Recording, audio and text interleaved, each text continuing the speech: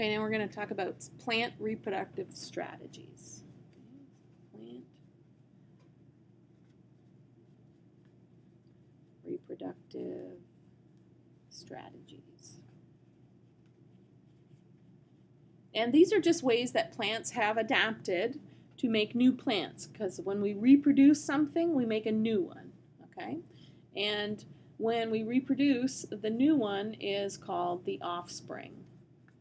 Okay, so a baby puppy is an offspring. Actually, anything that is living um, is an offspring because they've been produced from another organism of the same species.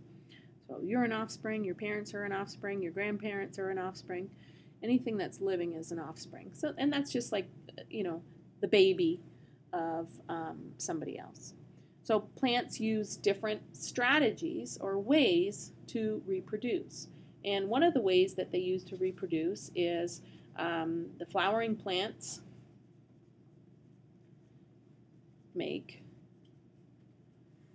fruit. And that's the Peggy and Stanley story that you'll see in one of my other videos. Okay, so if you want to look at flowering plants and how they make uh, their fruit, that's another way to make offspring because inside of the fruit is little seeds, and those seeds are what makes a new plant. So the seeds would produce offspring. Uh, the second reproductive strategy that we talked about is um, flowers that just produce um, seeds, uh, like the conifers. Remember we talked about the, um, they make pine cones, Christmas trees. Um, there's also um, sunflowers. They do the same thing. Sunflowers uh, produce um, a whole bunch of different seeds. and don't forget that pine cones they have these little openings in them, and the seeds are actually inside of here. And when the pine cone falls off and dries out, the seeds come out and make a new conifer or Christmas tree.